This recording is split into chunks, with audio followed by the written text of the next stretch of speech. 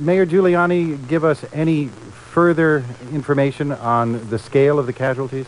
Actually, he, he said that there were six confirmed fatalities at the hospital, but then, of course, he did say that there are many, many more trapped. What was also interesting at the end of that press conference, the police commissioner here in New York City, uh, Bernard Kerik, uh, took the podium and he said that they are certain that there are still people trapped in the, some buildings around the World Trade Center site and they are still alive.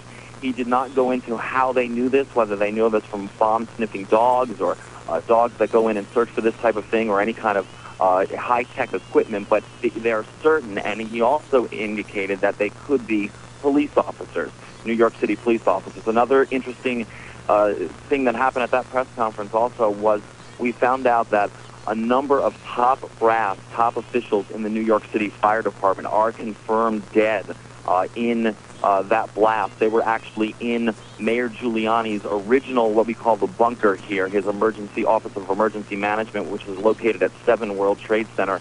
And we do know that they were in there and they're confirmed dead now. That's terrible news. Um, obviously, uh, operations are continuing uh, through the night.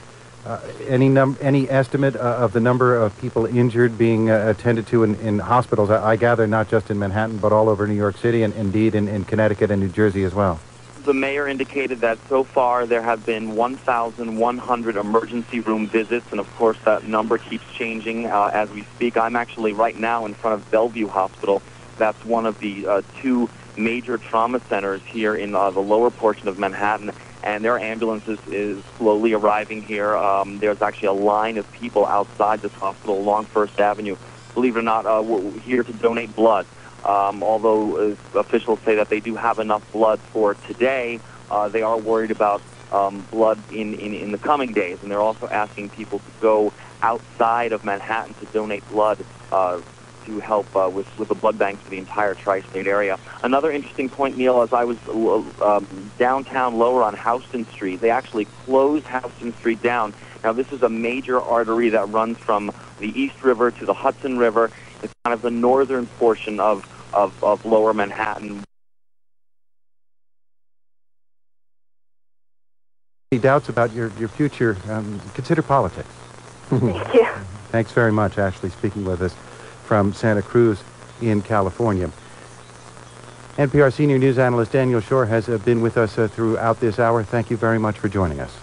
Glad to be here. We also spoke with Richard Hake, a reporter for WNYC who was at Mayor Giuliani's news conference. We spoke with Brian Bernstein also, who was in the World Trade Center today when it was struck by a hijacked airliner that crashed into the building Another airliner crashed into the other tower of the Trade Center. Both buildings collapsed. A third airliner crashed into the Pentagon across the Potomac River from Washington, D.C. A fourth crashed in southwestern Pennsylvania.